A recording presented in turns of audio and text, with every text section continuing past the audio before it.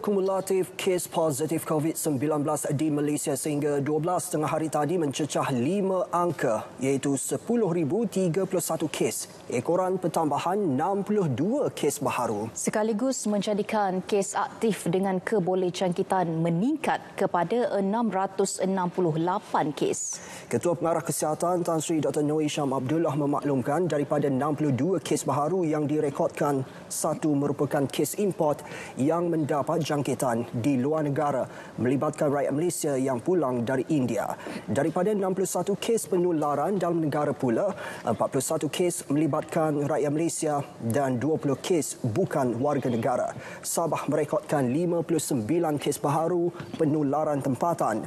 48 daripadanya dari kluster Benteng Lahad Datu melibatkan 20 wah bukan warga negara. Sementara itu, satu kes di Kedah dikesan daripada kluster sungai dan di Pulau Pinang satu kes daripada saringan kontak rapat kepada kes ke 9397 dan kes 9459. Tiada pertambahan kes kematian dilaporkan hari ini dan jumlahnya kekal 128 kes. Dan berikut status terkini COVID-19 dalam negara. Diikuti data kes positif harian mengikut negeri-negeri.